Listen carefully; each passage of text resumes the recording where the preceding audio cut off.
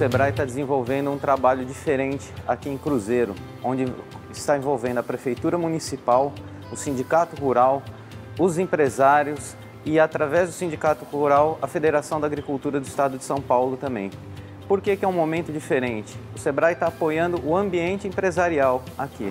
Nós estamos fazendo um trabalho, desenvolvendo, querendo mudar a, as regras, criar novas regras aqui no município para que facilite o desenvolvimento e a produção uh, de produtos lácteos, queijos e outros derivados aqui no município.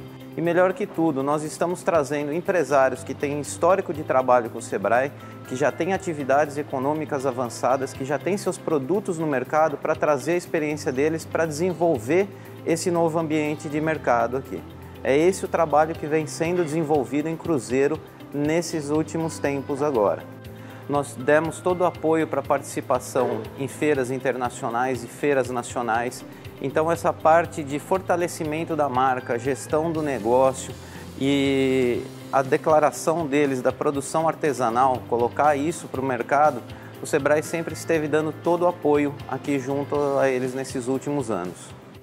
A fábrica de doce ela nasceu é, para atender, pontos turísticos. A gente começou o nosso negócio para ponto turístico e a gente foi ganhando experiência em visitar as lojas que eu ia vender. O Sebrae nos mostrou que a gente tinha que valorizar nosso, o nosso é, o que a gente tinha idealizado, que a gente tinha que fazer aquilo que a gente achava que era o correto, da nossa cara e não ser mais um ponto, mais uma parada ser a gente tinha que oferecer o diferente. Quando o cliente viesse aqui e levasse, comesse a nossa comida e levasse o nosso produto, quando ele encontrasse em qualquer outro ponto, seja um ponto, outro ponto turístico, ou alguma, alguma grande loja, ou alguma loja de produto natural, ele iria saber que ele estava comendo a mesma qualidade, com a mesma com a mesma com o mesmo cuidado da fabricação, tanto do prato que ele comeu aqui quanto o produto que ele encontrasse em, em uma loja.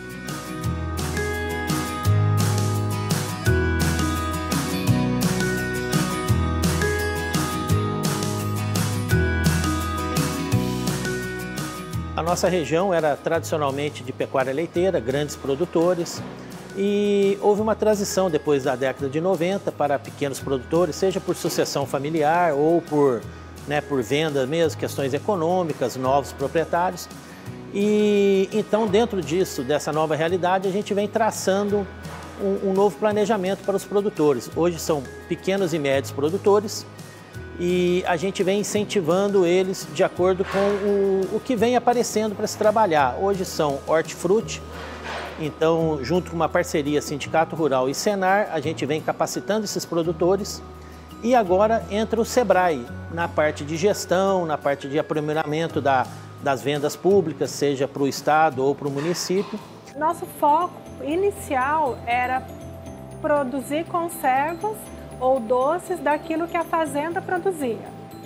Só que com o passar do tempo a gente começou a perceber que é, trabalhar tanto a agricultura quanto a, a produção para a gente iria ficar um pouco inviável.